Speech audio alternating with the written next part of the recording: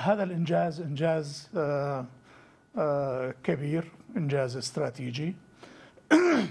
أن نجاح الجيش العربي السوري والقوات الرديفة آه، في آه، دير الزور آه، قلب الوطن يعني أن الجيش العربي السوري عندما يريد أن يصل إلى أي موقع فإنه لا يوجد آه، أي شيء يمكن أن يحول آه، دون الوصول إلى المكان الذي يريد الوصول إليه.